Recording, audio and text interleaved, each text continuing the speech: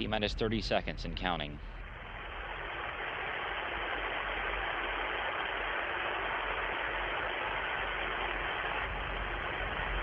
T minus 20 seconds and counting. The launch command has now been issued. Start. T minus 15 seconds and counting. The second umbilical tower is now separating.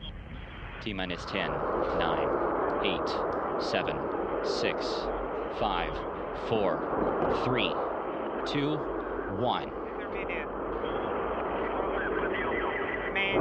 Liftoff. Liftoff of the Soyuz TMA-22 with Dan Burbank, Anton Shkaplerov, and Anatoly Ivanishin as they head toward the International Space Station due for a rendezvous and docking on Tuesday. Visiting vehicle officer reporting good first stage performance. The Soyuz delivering 102 tons of thrust from its four boosters and single engine. Stage one thrusters. The first stage of the Soyuz measures 68 feet in length and 20.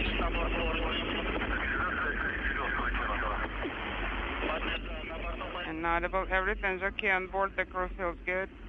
Shkaplerov and Ivanishin there continuing to look over their procedures. Pressure is inaudible. One minute into the flight, all systems nominal.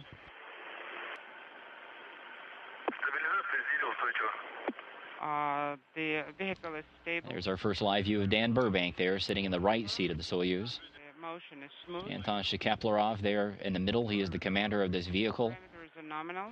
And just to the right of frame is Ivanishin. 100 All three crew members continuing to watch over the procedures and watch the performance of the vehicle. Stage two thrusters operated nominally.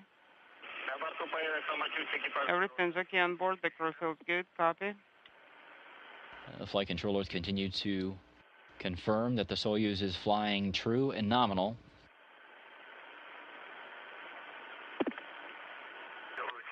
Inside the International Space Station, Mike Fossum, Sergei Volkov, and Satoshi Furukawa are watching inside the Destiny laboratory copy you. As their fellow Expedition 29 colleagues head up toward the International Space Station. They'll be docking with orbiting complex coming up on Tuesday evening. Stage three thrusters are off. So separation confirmed. Confirmation of third stage separation. And as you can see from the Angry Bird floating up above Shkaplerov, the crew has reached orbit.